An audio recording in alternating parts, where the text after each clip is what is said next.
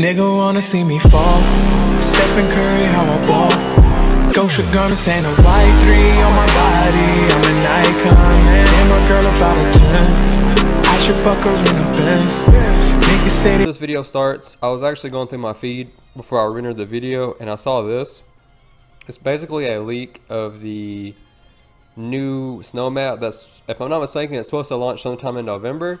I don't know how accurate this map is. It was just something that I, I came across. So I'm not going to sit here and say this is what it's going to look like or anything like that. But I think it looks pretty dope if that's going to be the actual size. I really hope that they're going to keep it at the same size, kind of like Sanhok. So I mean, I don't know. I just wanted to add that into the video. And again, I'm not sure how trustworthy this source is. I'm going to do more research. It looks pretty legit. But as soon as I figure out anything more, I will definitely let you guys know. But I just really wanted to add this into the video. I think looks pretty cool. Anyway, guys, I'm going to get straight back into the video. I appreciate any support. Peace. We are back at it again with another PUBG video. And today I'm just going to go over the community post that they have, PUBG developers have released, talking about the ongoing issues within the 1.0 version. So to me, I felt like Sanhok ran really smooth, but I also have begun to notice the frame drops. And I'm running on an X1, Xbox One X and I don't feel like that should happen. But that has been an issue. As you guys know, I do 2K and PUBG content. So 2K just released a few days ago. That's mainly what I've been grinding on. I did happen to play this the other the other night for about 30 minutes or so. I mean, it's still being lit. The map is lit and everything like that. I just I've really been grinding on 2K just so I can get my player. But if you're new, hit that sub button and hit that like button as well. It really helps me out. And just leave me a comment and let me know if you've been experiencing any of these issues as well.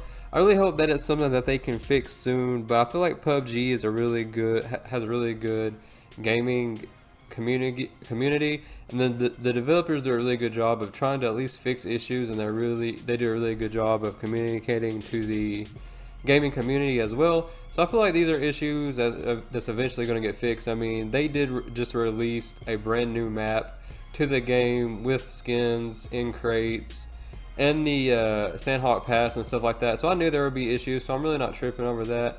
I know that they're working on it the best that they can. So in this community post, they just um, basically said there was an issue with achievement achievements.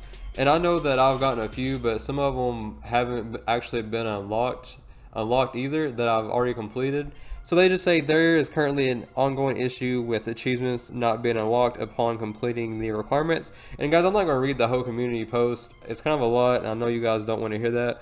I'm just going to summarize it and give you the most important parts.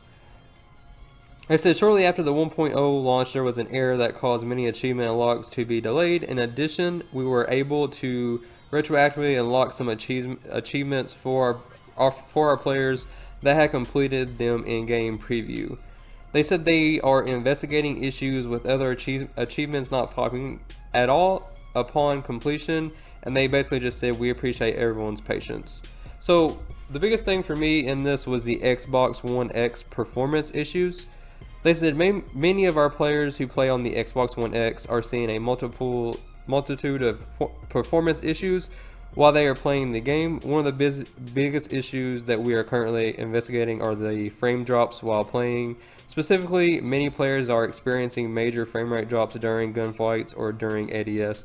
This is very true. I've experienced this a lot. It's really annoying and it kind of it kind of it makes it really hard to aim too.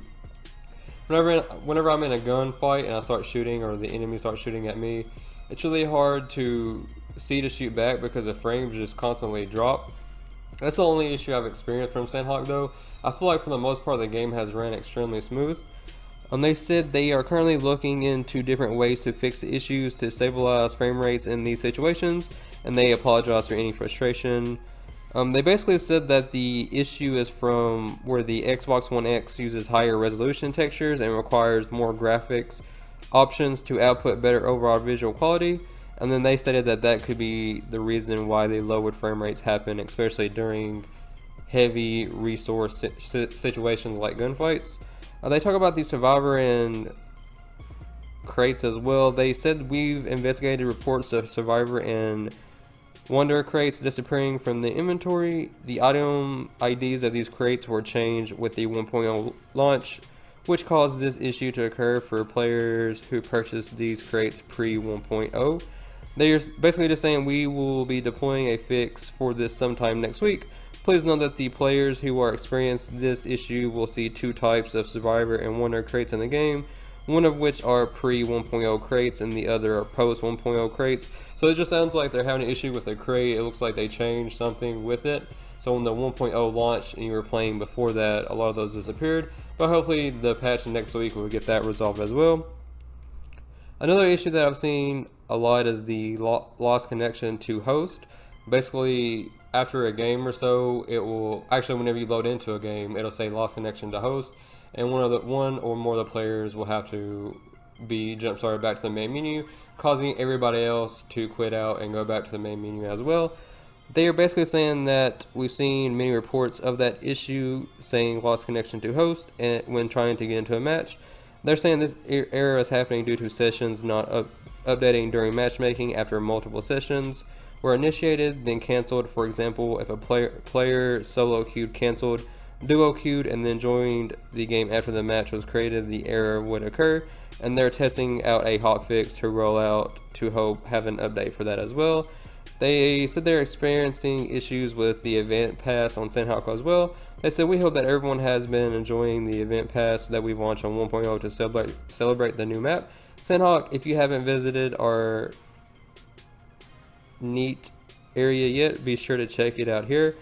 While many players have been leveling up completing missions and making their way through the event pass, there have been some confusion and questions that we wanted to help clear that up. It says, why is there a max daily XP limit? They, and they go on to answer, the daily XP limit only applies to survival time. During games, it is calculated as 1 XP per 2.5 minutes. This is a double for premium pass users. And they say, do you need to buy the event pass in order to play Sanhok? And the answer to that is no and it says how often will we have event pass every month event pass sanhok was created to celebrate the release of our third map sanhok we don't have many details to share at this moment about our future plans with event passes so i hope they continue to update the event pass come out with new items that we can get i think that'd be really cool and just keep the game fresh as well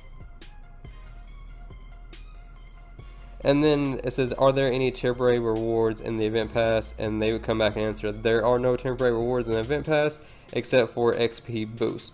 They basically go on to, to thank everyone who played 1.0 this week and that they are continuing to bring more content and bug fixes to the game and they also want to have our feedback to let them know about any bugs that they may or may not be aware of and then they basically to go and say thanks from the PUBG Xbox team. So there you have it guys. That is all the issues that have been going on with PUBG as of right now. And then I'm pretty sure this patch is going to launch sometime at the first of the week. My guess is it, it seems like they generally launch it Monday on Mondays.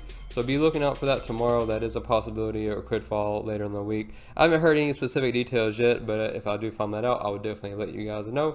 But that's really all I have uh, uh, for PUBG today. I will continue to play and let you guys know of any uh, future bug issues. I stream on Twitch regularly, whether it be PUBG or 2K.